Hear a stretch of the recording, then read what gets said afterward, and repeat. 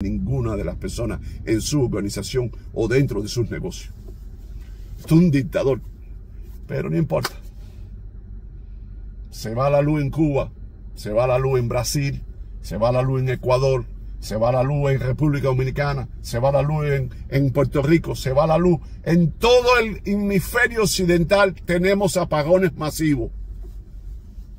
Y los cubanos, como histéricos que son, que huyen de Cuba, como yo, ¿eh? pero yo pasé por Villamarista. Ah, ah, cuidado. Uh, me apretaron los cojones ahí. Y yo dije, no entro más a Villamarista. Ni aunque se estén quemando ahí adentro, yo salgo a salvarlo. Yo ahí a salvar. No, no, no porque se merezcan que se mueran quemados, sino que no. Que no me meto ahí, no quiero estar más ahí. Así que salí de Cuba. Vayan para Cuba, a luchar para Cuba y a buscar lo que están poniendo en Tito y toda la mierda esa que están poniendo en Tito. Vayan a Cuba, luchen.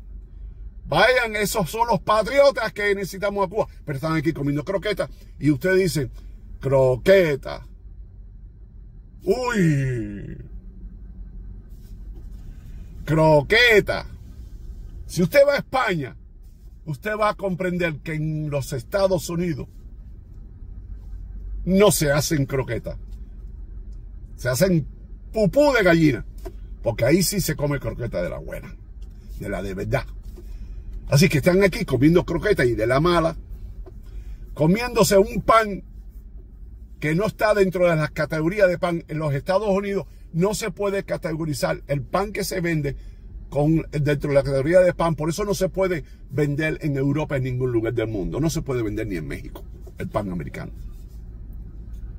Muchas de las razones es que le echan una cantidad de mierda, incluyendo el bromuro de zinc. No sé para qué carajo le echan esos pan, pero ya deja de ser pan, por eso no se puede vender en Europa. Y muchas cosas. La manzana le ponen un, un glazer, o sea, lo cubren con una cera para que genere el brillo, que es muy tóxica. Aquí, y, y, y no, no salimos a la calle a gritar abajo el gobierno que nos está matando con cáncer y esas cosas. No, no las que escriben en TikTok hablando del desastre del apagón de Cuba, que se pongan a hablar del desastre de apagón que hay en todo el hemisferio occidental. Y el hemisferio occidental es América del Norte, Centroamérica, Suramérica y nuestro Gran Caribe. Ese es el hemisferio occidental. Hemos tenido la, el privilegio de, de, que todas las Américas estén dentro del mismo